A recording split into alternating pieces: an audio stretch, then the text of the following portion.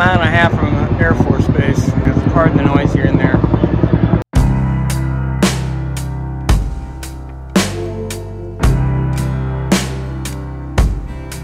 The transmission was part of the engine trade I got from my 63 Rambler. Nobody wanted the transmission, doesn't do me any good.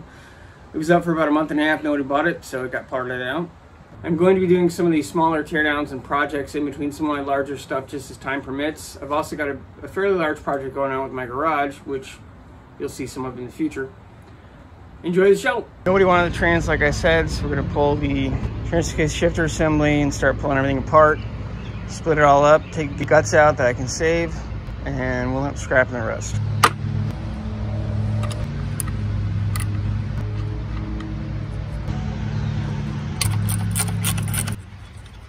There's a bolt lining up under this bracket, and I'm not really gonna be able to show it to you.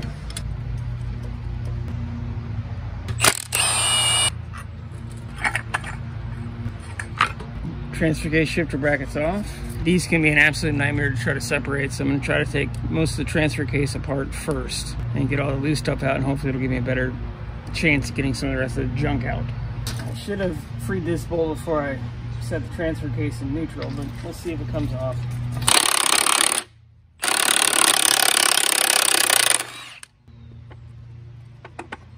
Here's the front output shaft yoke for the uh, front different for the front drive shaft. Take the connector off. The vacuum connector off. And we'll take the rest of the bolts out. If I'm lucky, the studs won't come with it, but we'll see. That was another Chinook flying out from the base.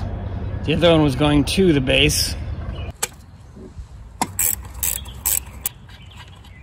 That should be all the nuts. Take the Speedo drive cable off.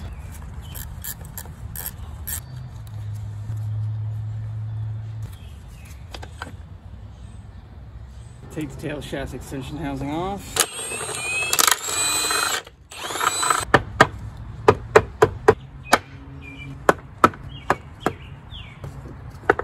clean off some of the uh, silicone mounting it together and then just started tapping and gently popped it off. Get this piece off next. Apparently I didn't get exactly all the oil out of it.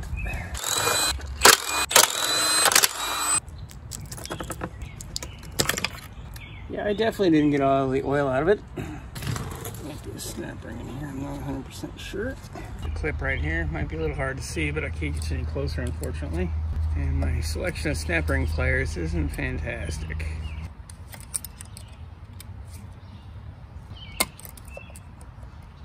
At least it's up and now I can take it off.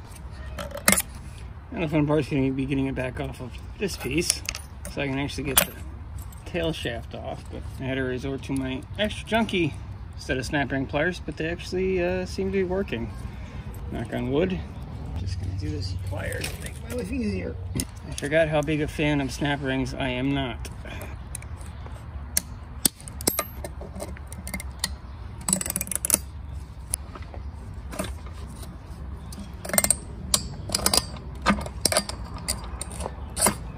No, this is not going back together. No, I'm not worried about it. This is speedometer drive here. They must be doing exercises today at the base because there's Chinooks all over the place. They're normally not quite this common. I'll get the case bolts off and we should be able to split the case. I don't have a 12.10 millimeter socket, so um, let's see how much more fluid's left in here.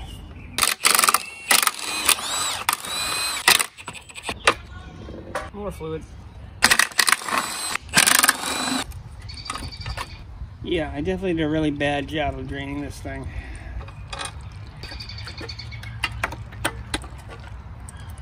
There's a magnet to catch all the loose filings and things that come off the gearing. There's the magnet. So here's our forward-facing output for the front drive shaft. Chain between them, the main shaft. There's all our shift forks. This thing's actually coming apart. I've never had one just come apart. So I don't think I'm gonna be able to show you too much more than taking it apart, not shifting it or anything, unfortunately.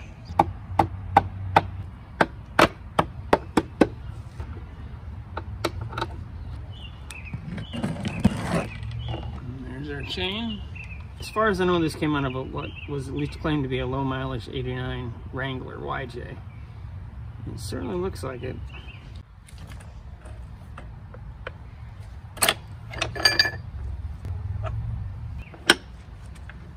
Granted, this is not exactly the proper way to take it apart, but I'm not planning on reusing anything or saving any of this, unfortunately.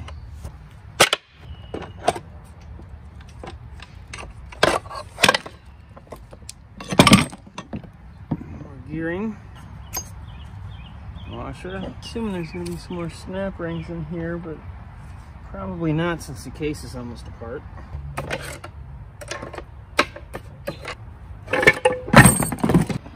Gearing, roller sleeves.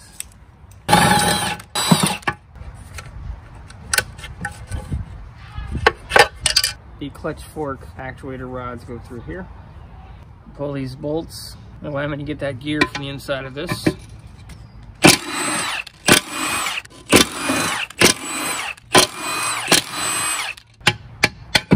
There we go. It seals on it. Actually, it looks like it's just silicone in place. I've rolled the transmission over. We're gonna pull lower mount. We'll flip back over, get the bell housing off, and then start taking it apart. Take the throw out bearing out. Stubborn little leak. What? There we go.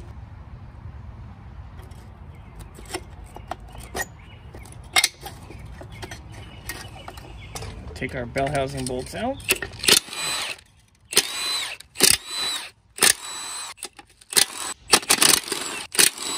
Get my shop crane over here and pick up the trans just off enough so I can pull the bell housing off. Take the bolts off and hopefully separate this piece, then this piece, and then split the case. That's one friggin' long bolt.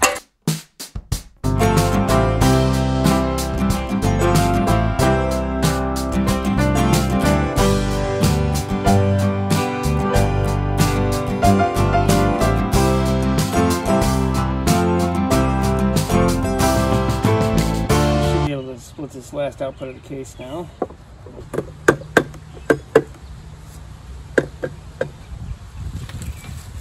Hopefully see how much water is mixing with the gear oil.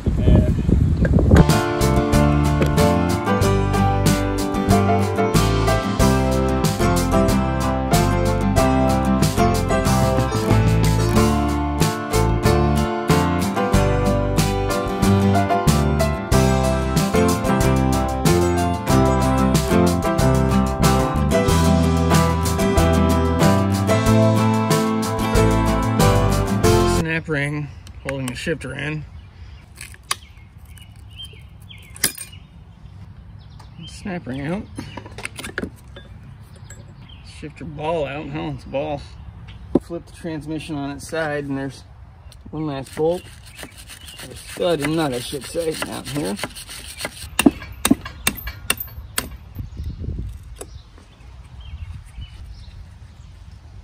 In theory, we can uh, pop this sucker loose.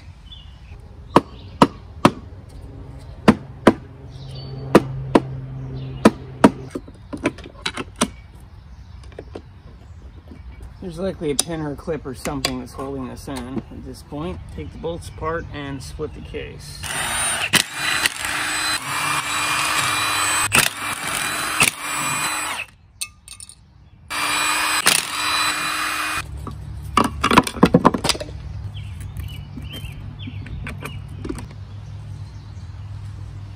most of what I've shown you so far is kind of the wrong way to do this stuff.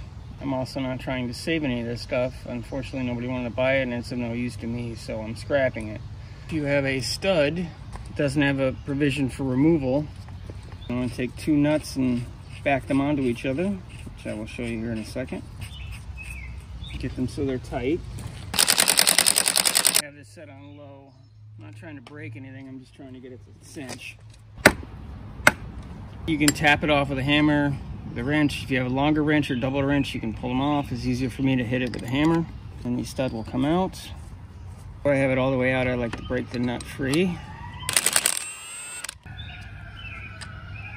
Now these studs don't have a provision to remove them. A lot of times you will see a stud with what looks like either an, an inverted Torx or a six-pointed fastener so you can actually remove them much easier than this so. I was going to get a prying tool in here and get the filming started but I touched it and it came apart. Here's our front cover. I'm to gently try to split the case halves.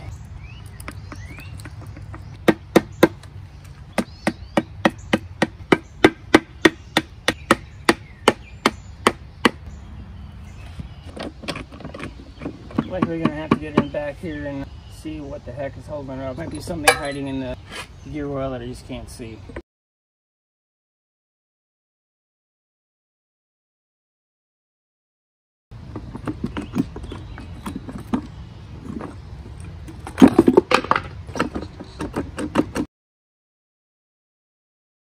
Fortunately, I don't have the correct tools to take the back housing off, so it was extricated. I would never been able to get to those Allen bolts.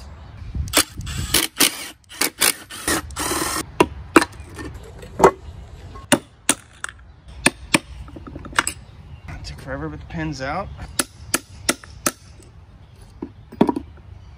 Now I can get to the uh, other Allen bolt.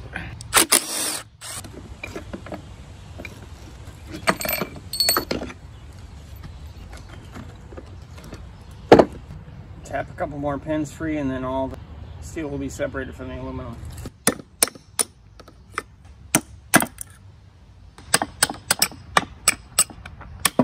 There's a little floating pin in the shaft that was not allowing it to come apart. There balls and this one not allowing it to come apart. With that, it's completely disassembled. AMC Jeep BA10 Peugeot Trans has a real bad reputation for being like glass and very easy to break. Had it listed for over a month, didn't sell. That's why it's in these many pieces getting ready to get scrapped. I'm going to be splicing, I keep saying splicing. I'm, motorcycle.